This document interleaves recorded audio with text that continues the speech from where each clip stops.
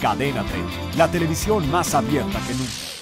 En la alfombra roja de la edición 42 de Las Diosas de Plata, algunos famosos que desfilaron por ahí nos contaron uno que otro chismecito. Sebastián Zurita pronto estrenará en teatro Cama para Dos y nos dice si él tiene con quién compartir la suya.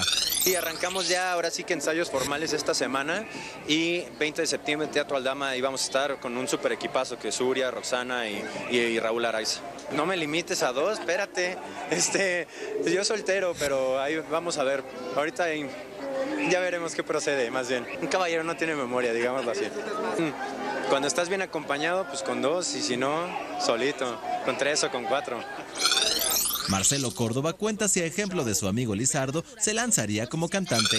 No, siempre lo dije, zapatero tus zapatos, no me animo. Me gusta cantar, pero canto en mi casa solo. Yo siempre digo que esas cosas hay que dejarse los que saben, como Lizardo, que lo hace estupendamente. No critico a los compañeros que se lanzan como actores, porque realmente ser cantante a quien no le gustaría, todos nos echamos nuestro palomazo, pero para mí por ahora es mucho.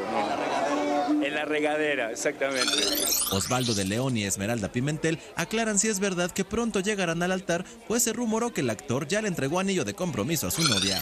Lo único que te puedo decir es que tenemos una relación muy sólida, que, que es fuerte, pero ustedes serán los primeros en enterarse si sí. ¿Ok?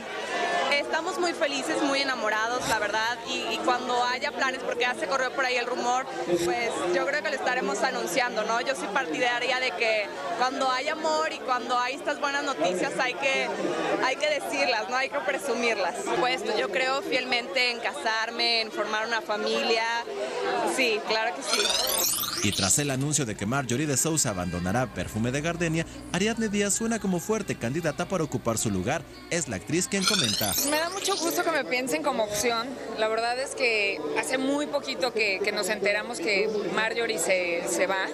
Como de repente me dicen, oye, y pues es que tú di, ¿no? Que tú eso me parece que está como fuera de lugar, ¿no? Finalmente, digo, es igual en, cualquier proyecto, ¿no? El productor escoge y tan tan se acabó y si a mí como actriz el día de mañana me dice, ¿te gustaría hacerlo? Claro.